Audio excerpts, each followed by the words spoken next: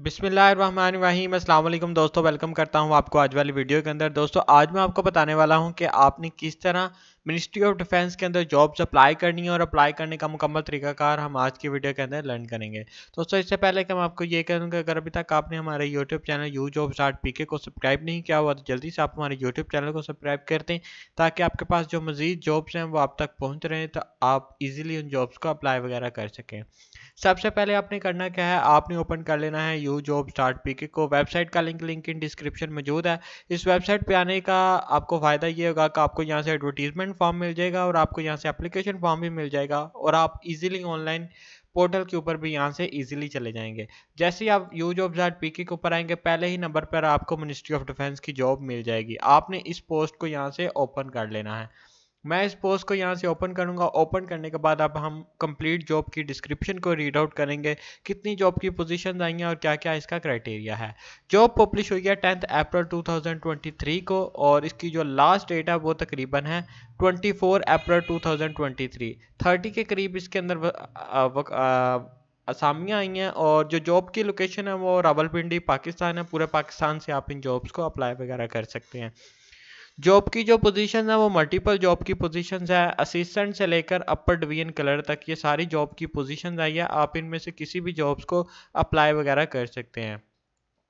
Next चीज़ आ जाती है, अब हमने एडवर्टीजमेंट फॉर्म कहाँ से डाउनलोड करना है? ये रहा एडवर्टीजमेंट फॉर्म एडवर्टीजमेंट फॉर्म को आप इजीली यहाँ से आके डाउनलोड कर सकते हैं।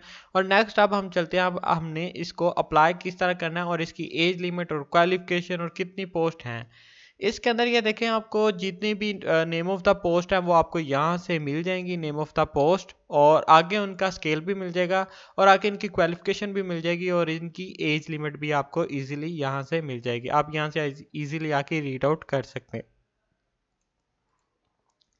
नेक्स्ट चीज़ आती है कि अब हमने अप्लाई किस तरह करना है। अप्लाई के लिए आपने नेशनल जॉब पोर्टल है, आपने उसको विज़िट करना है, उसका लिंक भी मैं आपको दे देता हूँ।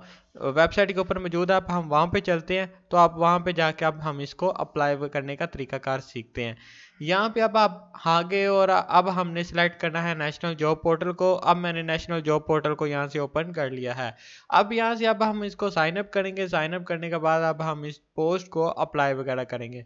यहाँ से अब अब हम साइन अप के बटन के ऊपर क्लिक आउट करेंगे और अपनी डिटेल्स को किस तरह सबमिट करेंगे, वो सारा हम इसी वीडियो के अंदर कवर अप करेंगे। तो वेबसाइट में भी थोड़ा सा टाइम ले, लोड होने में मैं इसको एक दफ़ा और ओपन कर लेता हूँ। ये रही दोस्तों, यहाँ पे ये ओपन हो चुकी है। अब हम साइन अप के बटन के ऊपर क्लिक आउट करेंगे। अब हमने यहाँ पे साइन अप किस तरह करना है? आपने यहाँ पे अपना अकाउंट टाइप सेलेक्ट करना है। आप एज अ कैंडिडेट अप्लाई करना चाह रहे हैं। यहाँ पे आपने अपना सी एन आई से लिखना है। अपना यहाँ पे अपना ईमेल लिखना है। ईमेल लिखने के बाद आपने यहाँ पे अपना पासवर्ड और अगेन पासवर्ड लिख करके आपने यहाँ पे साइन अप के बटन के ऊपर क्लिक आउट कर देना है। जैसे ही आप साइन अप के बटन के ऊपर क्लिक करेंगे, आपने फिर साइन इन करना है। साइन इन करने के बाद अब आपने यहाँ पे अगेन अपना वो सी नंबर लिखना है।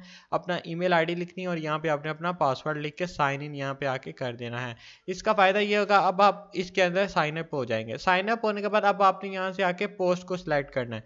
पोस्ट को किस तरह सेलेक्ट करना है? फॉर एग्ज़ाम्पल अभी मैं यहाँ पे आता हूँ और मैं यहाँ पे सिलेक्ट करूँगा कि आप किस पोस्ट के लिए यहाँ पे आके अप्लाई वगैरह करना चाहते हैं। जैसे फॉर एग्ज़ाम्पल ये मिनिस्ट्री ऑफ़ डिफेंस के अंदर अब हम जॉब को अप्लाई करेंगे तो ये रही मिनिस्ट्री ऑफ़ डिफेंस की जॉब है। अभी मैं इसको अप्लाई नो करूँगा।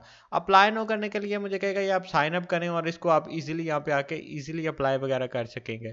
दोस्तों, उम्मीद करूँगा कि आपको ये वाली वीडियो बहुत ही ज़्यादा अच्छी लगी होगी। बिल्कुल आसान है अप्लाई करने का तरीका। अगर किसी भी किस्म की आपको समझ नहीं आए तो आप नीचे कमेंट कर दीजिएगा तो मैं आपको लाजमी बताने की कोशिश करूँगा, किसी भी चीज़ की आपको समझ नहीं आई तो।